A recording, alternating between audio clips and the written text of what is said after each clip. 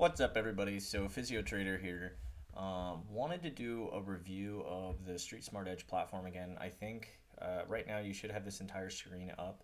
Uh, this is one of my monitors. I have two monitors, so this is my primary monitor.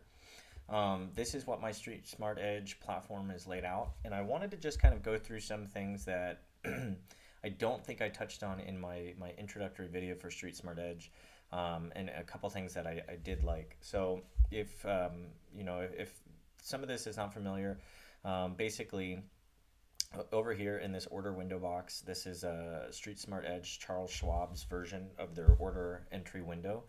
Um, they call it their all-in-one trade ticket. So you've got your level twos here. you can open up your options chain if you want. Um, within that options chain, you can open up the level twos uh, for the options chain as well. Uh, but I'm not doing options. Um, but I talked about, you know, the buy sell button.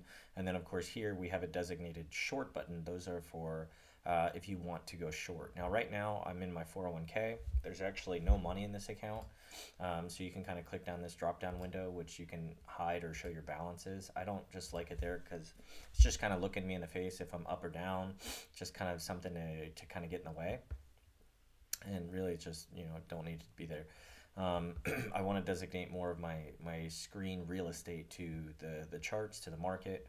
Um, but anyway, so uh, essentially here, right now just Palantir's up. Uh, these are all locked, but basically uh, I wanted to kind of designate this right here. So this button, as you can see, this short button, if I try to click it, nothing can happen. And that's because this account, one, has no funds, and two, is not a margin account, which means I cannot borrow shares.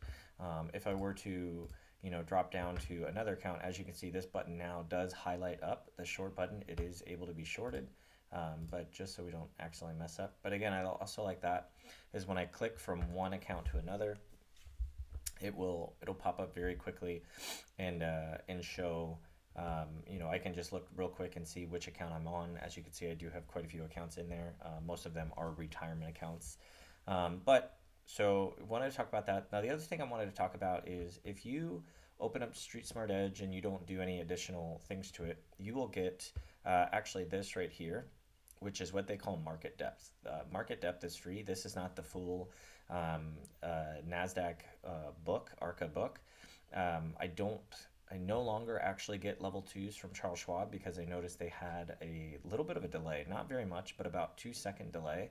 And since I'm already paying a, a pretty high premium with Lightspeed to get it, I don't see the point in paying for it twice. Uh, secondly, this is not a active trade account anymore.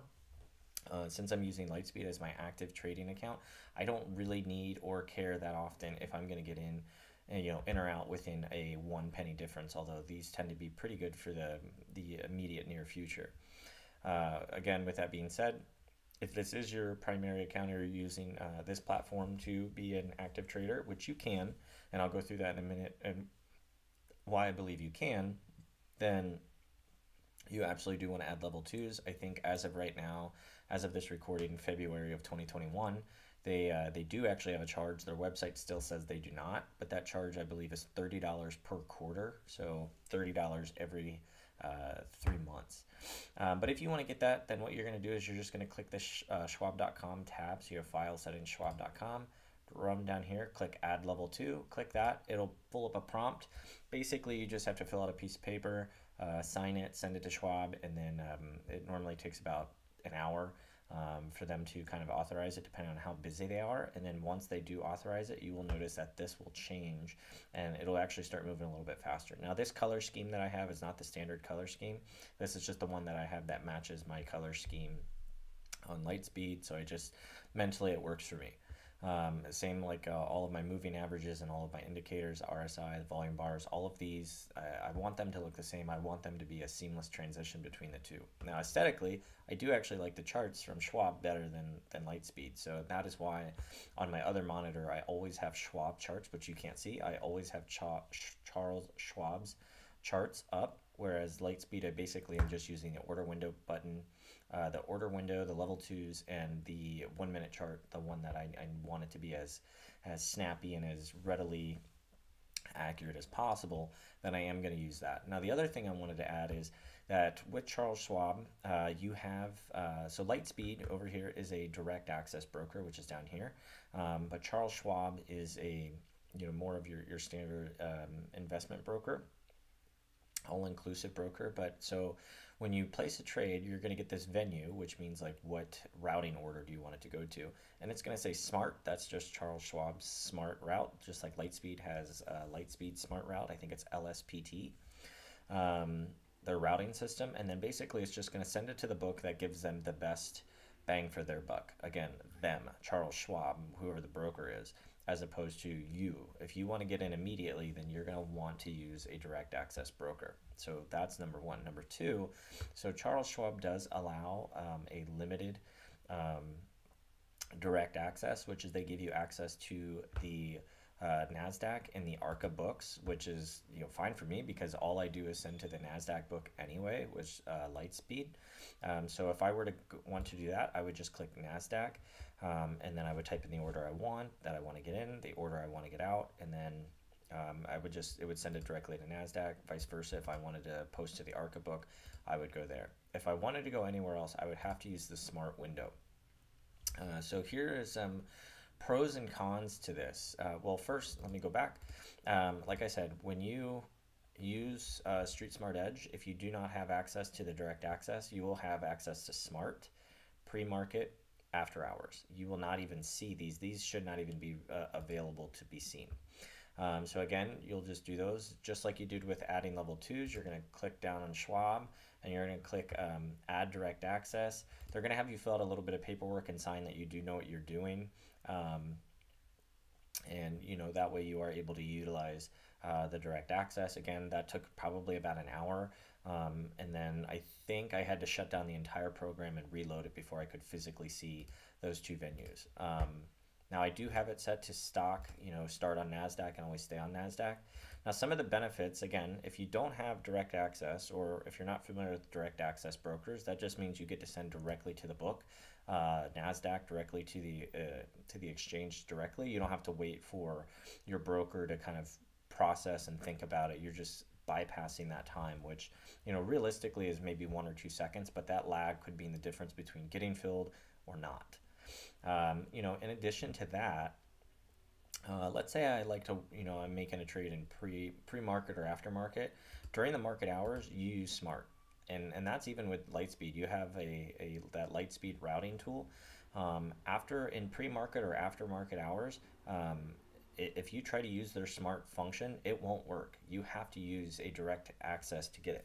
Now, whereas with Schwab, you are able to uh, do pre-market or aftermarket, but you'll just have to click the tab pre-market, and and these of course these buttons are gone because uh, they won't be available until pre-market time, and then vice versa. These after hours will not be available until after the close. So the market is currently open right now, and that's why they're gone.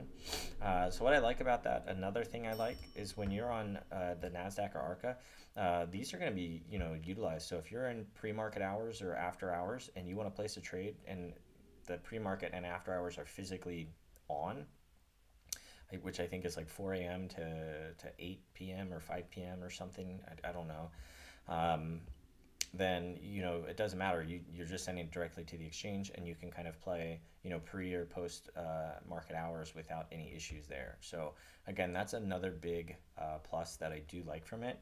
Uh, and the other thing, so those are just the the the two major things, and there's one more thing I wanted to talk about that I, I do like.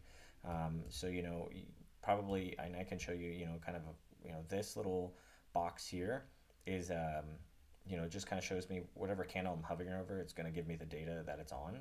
So it'll tell you the times, obviously the date, what day it is, the time, uh, all the info, what the volume was, the height, the low, the close, the open, and so on and so forth. Um, but one of my favorite things about uh, Street Smart Edge is that if you're building a position, let's say I was to buy right here, you know, right now I got on the ask and I got in, it would show me a green bar. Uh, and I don't want to get into this trade or else I would show you, but it would show me a green bar and say exactly where it is. If I dollar cost average up or dollar cost average down, that bar is going to go up or down based on whatever my average is. And so I like that. So then you kind of have this just bar just standing there. That way, if the position goes against you or if it goes above you, you have a very clear cut bar Um, if you're going long, it's going to be green. If you're going short, it'll be red. Um, but you'll have this bar just looking at you that says, oh, wow, um, you know, this is how far I am from breaking even or how far I am from, you know, making a winning trade, a losing trade. Um, and again, I can take another video where I'm in a position and I'll kind of show you showcase that. But then the last thing I really like is this estimated buy. Um, Lightspeed, to my knowledge, does not have this, and I actually kind of don't like it. Um, but in a, it very well could just be that I don't know about it. But I, I, like this estimated buy feature right here, where you know it, it basically just does the the simple math for you. So um, I'll just start clicking some you know pennies up and down. Uh, what I like about this is, let's say you have I don't know forty thousand dollars in your account. Um, now, obviously, if you had forty thousand dollars, you know, eyeballing it, you know that you would have you know at least a thousand shares you could get.